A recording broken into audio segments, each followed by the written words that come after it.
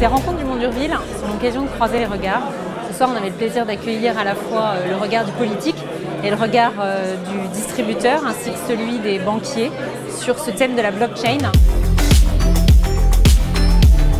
C'est important pour nous de faire témoigner des gens qui ont eu des projets concrets sur lesquels ils ont pu mettre en œuvre cette technologie, à la fois euh, sur le plan IT, mais aussi sur le plan humain, organisationnel, et tout l'accompagnement au changement que ces projets impliquent. La première fois que je suis allé en Auvergne et que j'ai commencé à parler blockchain, je me suis dit que il allait peut-être falloir que je reste un peu plus longtemps. En fait, pas du tout. Si vous trouvez la bonne façon de l'expliquer, le monde agricole, il est totalement partant pour communiquer d'abord vers les consommateurs, pour montrer ce qu'il fait. Et deuxièmement, il est déjà assez numérique, au sens où il a des données. Sur un, produit de saison qui est euh, la tomate. Quand on est allé à Marmande sur place rencontrer les gens à la fois à la coopérative et chez les agriculteurs, ils nous ont dit ce qu'ils voulaient dire aux consommateurs et on a été juste les porte-parole. C'est en fait une traçabilité augmentée, comme on peut parler de réalité augmentée.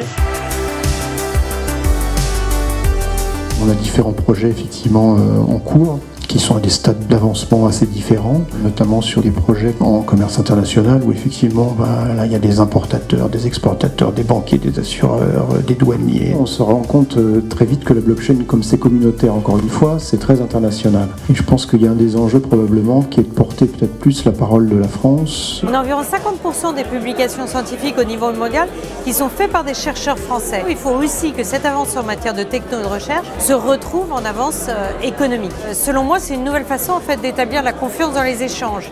Et c'est très fort d'un point de vue relation entre l'administration et les citoyens ou euh, dans une filière économie d'avoir une techno qui permet automatiquement de certifier des échanges modèles de gouvernance sont encore à continuer de construire. Ça a commencé, mais il y a encore plein de choses à imaginer. Vers quoi on converge collectivement, puisqu'on n'est plus dans un raisonnement mono-acteur, mais un raisonnement à plusieurs, souvent assez nombreux. Après, c'est euh, continuer le test and learn, parce que comme on disait, on est quand même toujours aussi dans une courbe d'apprentissage euh, les uns et les autres et sur cette technologie euh, pour, pour la faire maturer. Ce que nous a apporté Talent sur ces différents projets, c'est l'expertise technologique.